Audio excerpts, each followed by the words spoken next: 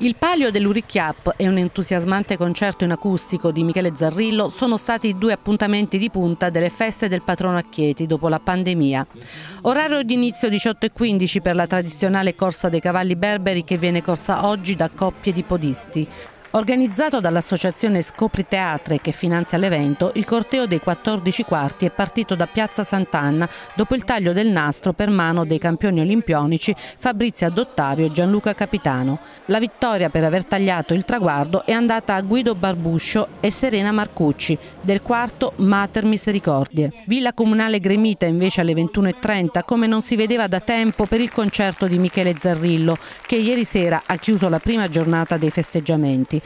Un'ora e mezzo di musica che ha scaldato l'atmosfera. Dall'apertura con il brano L'elefante e la farfalla a una rosa blu, Zarrillo ha fatto sognare una platea che dopo due anni di pandemia è tornata ad applaudire un artista molto amato in città. E non ci passo, mi trascino lento. Sono lieto di, essere tornato a Chieti, insomma è una città che ormai mi, mi, accoglie da tanti anni, almeno una volta ogni due o tre anni devo, devo, eh, devo, esibirmi qui a Chieti per, ed è una cosa molto bella. Essere sul palco è un piccolo miracolo, io dico che questi, questi, tutti questi spettacoli sono dei, dei, regali del cielo proprio che arrivano.